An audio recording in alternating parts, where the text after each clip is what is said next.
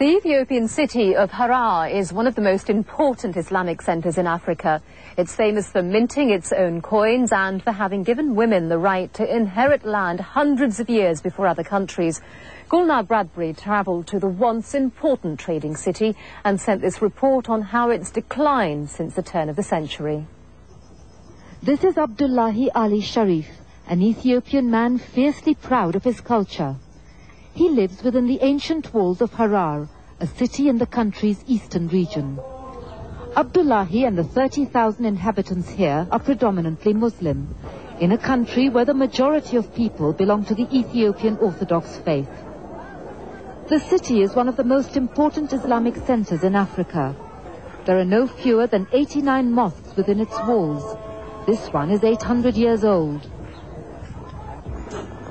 For centuries an independent city kingdom, Harar became an integral part of the Ethiopian Empire in 1887 after King Menelik II defeated the emir in power. Harar has its own language, Harari, spoken only within its walls. It was once a major commercial center for East Africa, with trade extending to Egypt, Arabia and India.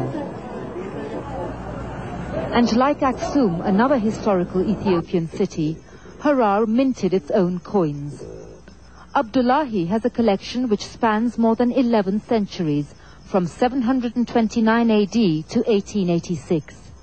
It's the largest and most comprehensive collection in the world, totaling over 700 Harari coins.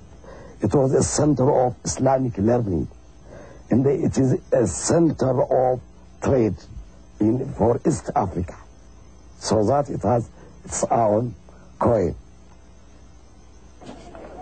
Harar was advanced in other ways too. Two centuries ago, the city's women were given rights to inherit land, long before women in the West were allowed to do so. Abdullahi has the very book containing the declaration. The book is one of several volumes that testify to Harar's long history of bookbinding. Harari literature is primarily Islamic. This Quran from Abdullahi's collection was handwritten over 1200 years ago in 743 AD. Now, unfortunately, Harari binding is a dead art. But other crafts for which it's been famed through the centuries are alive and well. Basketry, pottery, and silverwork. These older items show Arab and Indian influences harking back to its cosmopolitan past as a trading center. Nowadays, the quality of work may not be as fine, but the tradition continues. 80-year-old Abdul Wahid Haji Muhammad is the most experienced silversmith in Harar. He says circumstances have affected quality. With 36 children from four wives to support, it's all a question of economics.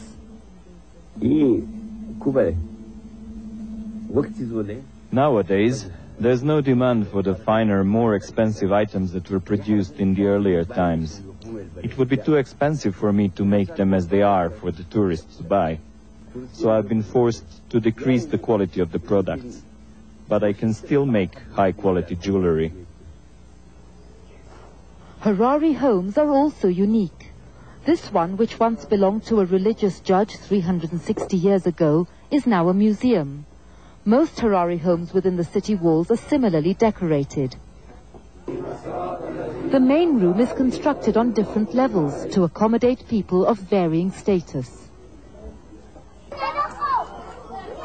Shrines and monuments reflect its long history.